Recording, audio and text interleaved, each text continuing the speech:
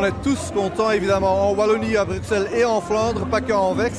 parce que c'est un parti qui est vraiment uni et que trouve important que la gauche avance partout dans toutes les régions en Belgique. Et donc aussi en Flandre, on aura besoin de cette gauche authentique qui tire comme un locomotive les idées et les débats vers la gauche. On a vu qu'il y a